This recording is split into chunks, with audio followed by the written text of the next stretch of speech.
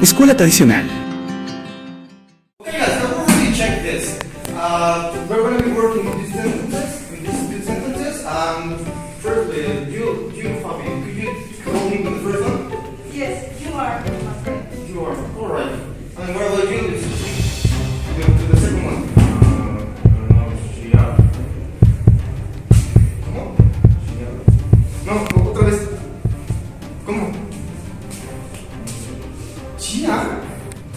Lo expliqué dos veces. ¿Cómo es posible? O sea, ¿eres tonto, en serio? O sea, no, ya vete a la esquina. No, es que no puede ser. ¿Y ponte esto? Es que eres tonto.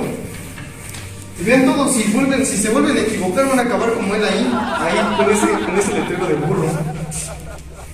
Durante mucho tiempo la escuela tradicional monopolizó la forma en que era correcto impartir conocimiento, donde la forma de trabajo de los maestros eran interminables apuntes, castigos, largas planas, repetitivas de conceptos y rutinarios repasos de contenidos visto durante clase, con el fin de memorizar más, no de aprender, todo inmerso en un ambiente frío y serio. Cosas que deberías saber de la escuela tradicional.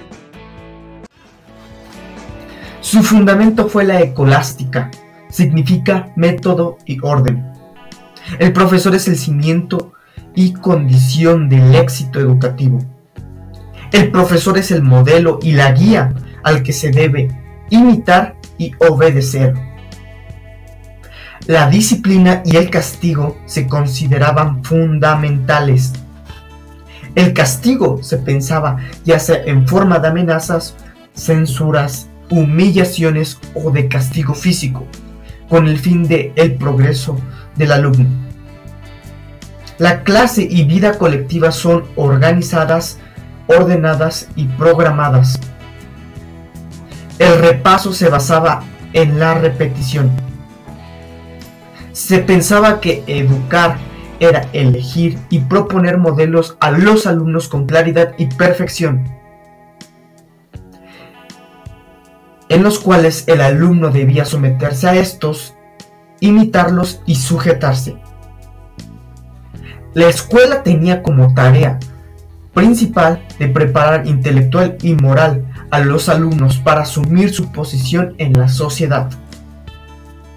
La escuela era el medio de transformación ideológica y cultural, con el fin de enseñarles los valores y ética prevaleciente.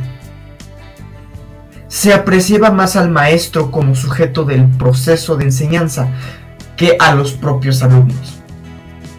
El profesor exigía la memorización de la información y el contenido de enseñanza consistía en un conjunto de conocimientos y valores sociales.